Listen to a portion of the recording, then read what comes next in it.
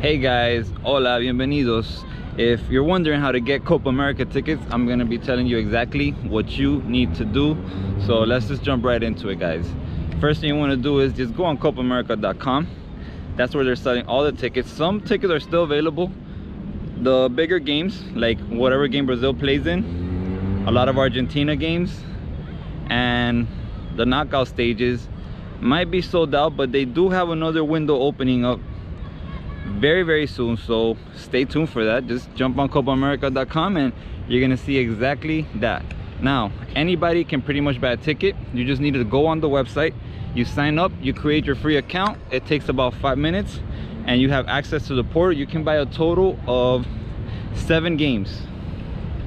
So you can go to seven different matches and i believe you can buy no more than four tickets per match or something like that but i mean who, who needs that many tickets anyways if you need more just make another account your wife or somebody else whatever and just make another account and get your tickets that way now. After you buy your tickets there's going to be two options. At this point you can have the tickets delivered to your home but you know the tournament starts in a day. So what you really want to do is just pick them up and spot now. The five host city each one has a pickup location. They're open each and every day for extended hours. I believe they're open from about 10 o'clock in the morning maybe 9 till 8 i know they close until 8 for sure. Anyways i suggest you go there early. I got my tickets in the sao paulo pickup location. I've got them five days before the tournament started and there was quite a good amount of people I had to wait about 20 minutes before i was able to to go and get my tickets now once you get there you're gonna need your passport. You're also gonna need that when you purchase your tickets online. That's how they kind of count that you're an actual person and then when you go pick up the tickets the passport needs to be matching names and the credit card. So whatever card you use make sure that you bring it along with you. So if you use your significant other's card and they're not gonna be there not a good idea now they might be able to work around it and let you slide as long as you can prove that whoever paid for it like the card is actually theirs and they're somehow related to you. It'll all work out but it's not worth the risk. So pay with your own card. That is the best suggestion i can give you. And then once you do that they will give you your tickets. They'll print them out for you. Also when you go pick up your tickets it's gonna tell you in the instructions that you must print your voucher.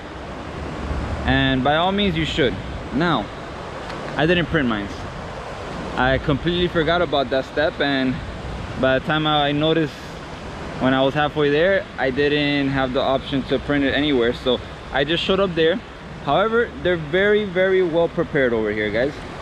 By that i mean that they kind of expected it already and they have a dedicated room with a computer where you simply can log in with your account and print from there or you can maybe save your voucher on a USB drive like I did. I had it on a USB drive because I was actually looking for a place to print my voucher before arriving at the pickup location.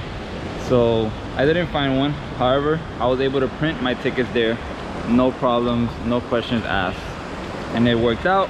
The whole process took about 30 minutes. Like I said it's more than likely going to be even busier now since some people only come for like one game or something. They quickly pick up their ticket there and and you know it's gonna be a lot more people. The queue is gonna be a lot longer so you have been warned.